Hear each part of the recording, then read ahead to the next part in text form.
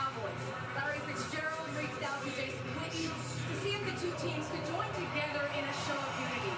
Those conversations between the two teams continued throughout the day today, but ultimately the decision was made that there would be no joint team response. During the national anthem,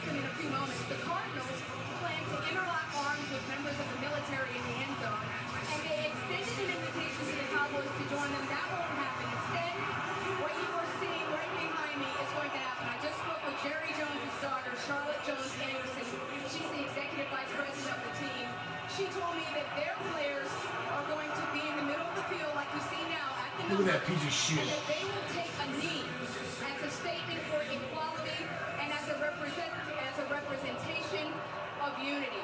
Now what she told me was that that's what their players wanted to do. She said the Cowboys players wanted to show unity, but they were very adamant about wanting to separate that message from the national anthem. Sean? He said as they take a knee collectively, boos can be heard You're an American, from the Texas. sellout crowd in What's wrong with you? Arizona. He's embarrassed. Look at him. He's